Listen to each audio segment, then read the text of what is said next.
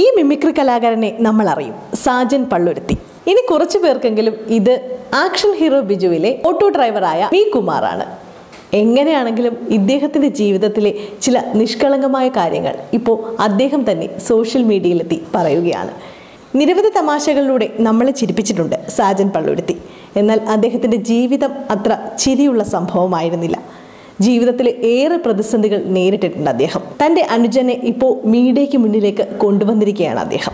സാധാരണഗതിയിൽ നമ്മൾ പലപ്പോഴും എന്തെങ്കിലുമൊക്കെ കുറവുകൾ ഉള്ളവരാണെങ്കിൽ പ്രത്യേകിച്ച് ഇത്തരത്തിൽ സെലിബ്രിറ്റി പരിവേഷമുള്ളവർ ആണെങ്കിൽ അവരുടെ ബന്ധുക്കൾ ഇത്തരം കുറവുകളുള്ളവരെ പിറകോട്ട് നിർത്തുകയാണ് പതിവ്. പക്ഷേ ഇവിടെ ഭിന്നശേഷിക്കാരനായ തന്റെ സഹോദരനെ മീഡിയയ്ക്ക് മുന്നിലേക്ക് എത്തിച്ചിരിക്കുകയാണ്. ചേർത്ത് പിടിച്ചുകൊണ്ട് തന്റെ ജീവിതത്തിലെ കാർമേഘം മൂടിയ അവസ്ഥയെക്കുറിച്ച് സാജൻ പള്ളുരുത്തി പറയുന്നു.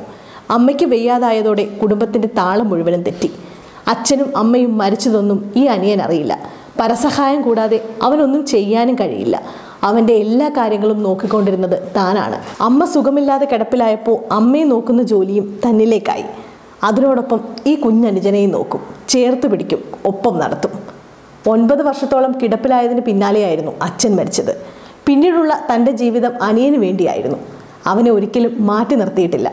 സഹോദരന്റെ ഇഷ്ടങ്ങളെല്ലാം ചോദിച്ചറിഞ്ഞ് തന്റെ ഇഷ്ടങ്ങൾ മാറ്റിവെച്ച് അവന് വേണ്ടി ചെയ്തു കൊടുക്കാൻ ഒരു മടിയും കാട്ടിയിട്ടില്ല. കുഞ്ഞിനെ പോലെയാണ് അവനെ സംരക്ഷിക്കുന്നത്. പല്ല് തേപ്പിക്കുകയും കുളിപ്പിക്കുകയും ചോറ് വാരി കൊടുക്കുകയും ഒക്കെ ചെയ്യുന്നത് താൻ തന്നെയാണ്.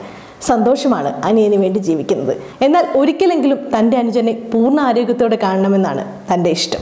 സാജൻ പള്ളുരുത്തി ഇത് പങ്കുവയ്ക്കുന്നു.